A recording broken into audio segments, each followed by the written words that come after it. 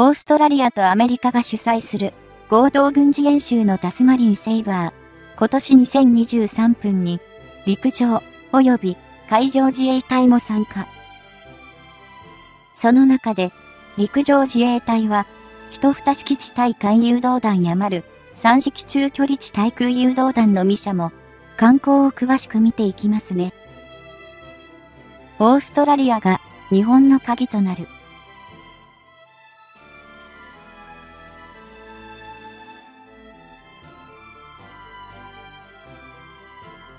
オーストラリアとアメリカの2カ国が主催する合同軍事演習のタスマリンセイバーが今年2023年は7月20日から8月4日までの日程で行われており、本年分はこれらの国以外にも過去最大の国と人員が参加している。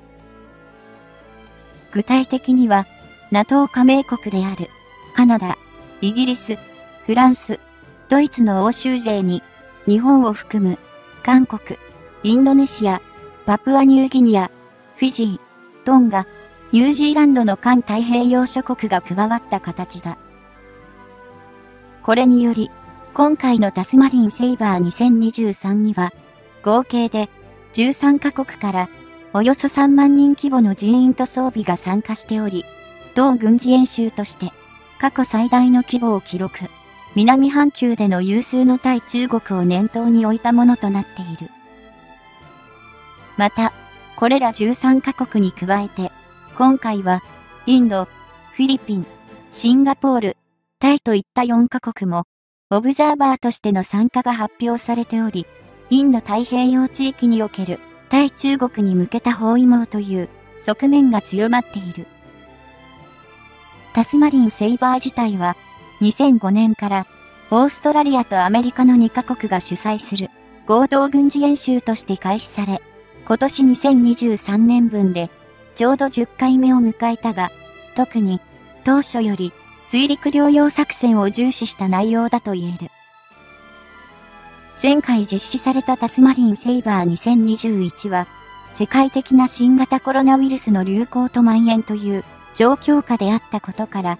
参加人員はおよそ1万7000名と少なかったことへの反応もあり、今回が最大規模となった感もある。タスマリンセイバーとは、英語で魔除け刀を意味する言葉であり、そのネーミングセンスからは、降りかかる災いを実力で排除する力といった意味合いが込められているのではないかと、個人的には感じている。日本は、今回のタスマリンセイバー2023に対して、2023年7月3日付の海上幕僚幹部からのプレスリリースによって、令和5年度分の自衛隊の IPD23 インド太平洋派遣部隊が、同軍事演習に参加することが報告されている。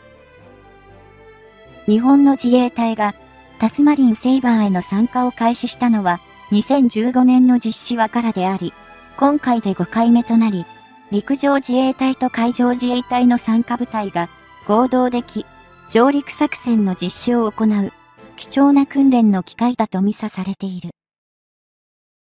今回のタスマリンセイバー2023に参加する自衛隊の IPD23 インド太平洋派遣部隊としては、海上幕僚幹部は、海上自衛隊のヘリコプター搭載護衛艦、イスモ、ドック型輸送揚陸艦、下北等の参加を挙げている。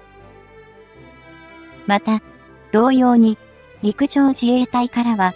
部隊として、水陸機動団と第1ヘリコプター団等が挙げられており、その参加部隊からも、同合同軍事演習が当初の想定通りに水陸両用作戦を重視したものであることが伺える形だ。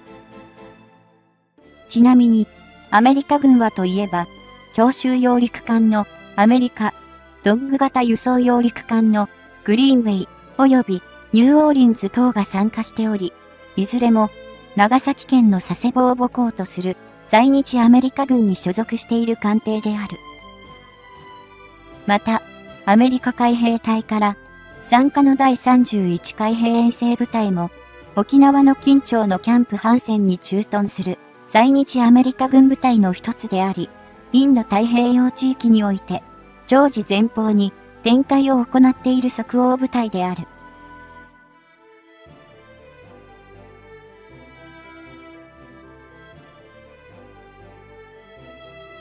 アメリカ海軍のデルトロ長官は、今回のタリスマン・セイバー2023の開催に先立って、参加国は核心的な価値観を共有する国々であると強調し、その目的が対中国に向けた合同軍事演習であることを明言した。加えて、もう一つのタリスマン・セイバーの主催国であるオーストラリアのマールズ国防大臣は、同演習の意義が地域の安全保障を高め、その安定と維持にあり、参加国の協力関係を深めるものだと述べている。この2023年7月時点でも、ロシアからの軍事侵攻を受けたウクライナは、なかなかはかばかしい反撃の進捗を見せられてはいないが、それでも、NATO 加盟国を中心とする西側諸国は、同国への兵器供与を継続し、その行方を注視している。しかし、石油や天然ガス等のエネルギー資源を豊富に抱え、食料の自給率も高いロシアは、西側からの、そうした兵器供与や経済制裁にもかかわらず、衰えぬ次戦能力を維持しており、残念ながら、長期化の一途をたどっているように見える。国家としての GDP の額で言えば、ロシアは、韓国程度の規模しかなく、経済制裁が続けば、いずれ、戦争の継続は困難になると、西側諸国側は、当初はミサしていたが、今のところ、その傾向は顕在化しておらず、終結の兆しも見えない。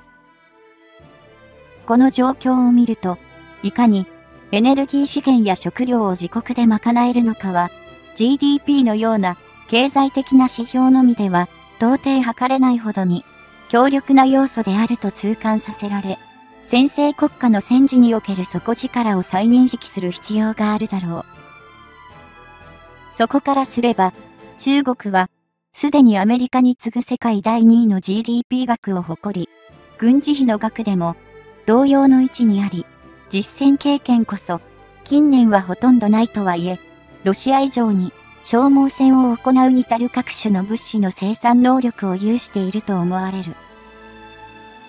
しかし、周知のように、アジア地域には、NATO のような西側諸国の軍事同盟は、残念ながら存在しておらず、アメリカをハブとして、日本を含む各々の国々が、その時々の政治的な判断で、連携を模索していくしかないのが実情であろう。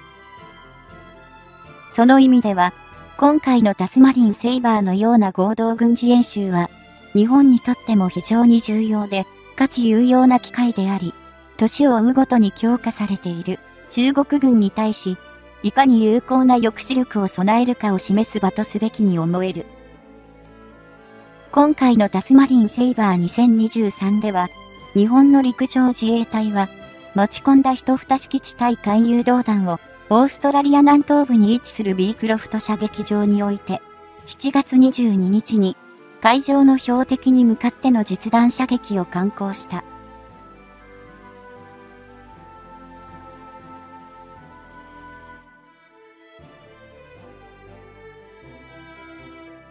オーストラリアで日本の一蓋式地対艦誘導弾の実弾射撃訓練が実施されたのは初のことであり、ここでは策略が重点されていない誘導弾が使用されたが、陸上自衛隊が持つ追艦攻撃能力を対外的に示せたものだと思える。一蓋式地対艦誘導弾は、2012年度の防衛予算から調達が始められた兵器で、レーダーシステム、中継システム、射撃管制システム、指揮統制システム、発射塔を、それぞれに、総輪式の車両に搭載したミサイルシステムである。現行型の一蓋式地対艦誘導弾は、最大射程距離はおよそ 200km ほどと長くはないが、能力向上型の開発が行われており、将来的にはまず同 900km、最終的には同 1500km までの延伸が予定されている。また、この開発中の一蓋式地対艦誘導弾の能力向上型では、現行の総輪式車両に搭載する地発型以外に、航空機に搭載して運用する空発型や、艦艇に搭載して運用する艦発型など発射母体も多様化させ、航空、海上自衛隊でも使用することが想定されている。さらに、今回のタスマリンセイバー2023においては、陸上自衛隊は、持ち込んだ丸三式中距離地対空誘導弾の実弾射撃も実施しており、こちらの様子も、オーストラリア軍によって画像として公開されている。丸三式中距離地対空誘導弾は、2003年度の防衛予算上から調達が開始された兵器で、最大射程距離はおよそ 60km ほど止めされており、同様の用途で、規模のアメリカ製の PAC-2 ミサイルシステムより、およそ45%ほど安価な470億円で、1個軍分を賄える。丸三式中距離地対空誘導弾も、すでに2016年までに、その改良型である、03式中距離地対空誘導弾、改めの開発が終了し、より低価格ながら、巡航ミサイルや空対地ミサイルへの対応能力を向上させ、2017年度の防衛予算から調達が開始されている。